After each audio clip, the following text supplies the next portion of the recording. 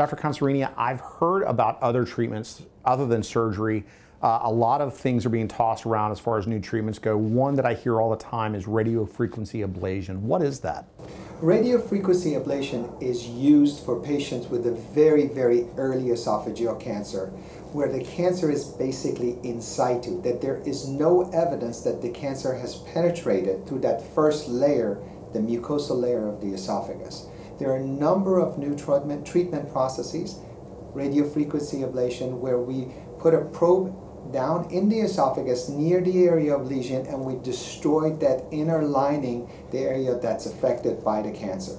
There are other freezing methods or endoscopic mucosal resection where we go remove surgically through the scope without actually making any skin incisions, remove the area of concern and maintain a very close watchful observation of that area of the esophagus to ensure that the cancer does not return.